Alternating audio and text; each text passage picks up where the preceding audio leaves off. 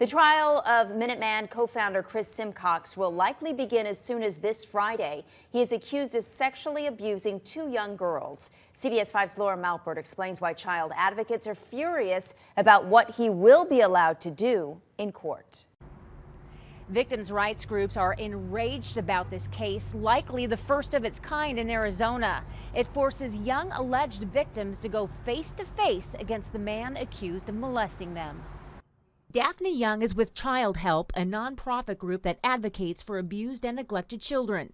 She can't speak specifically about the upcoming trial of Chris Simcox, but she gives her perspective.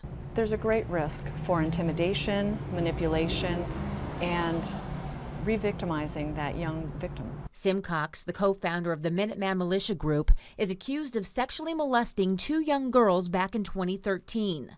In February, a judge agreed to let Simcox represent himself in his trial. Last week, the same judge gave Simcox the okay to personally cross-examine the girls, now ages 7 and 8. At the heart of the issue is the rights of the accused versus the rights of the alleged victims.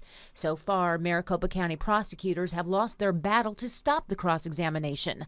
But County Attorney Bill Montgomery says he's seeking higher review. The request here is not unusual, and I think that uh, the courts are more than capable of trying to manage this particular situation, which doesn't occur often. Laura Malpert, CBS 5 News.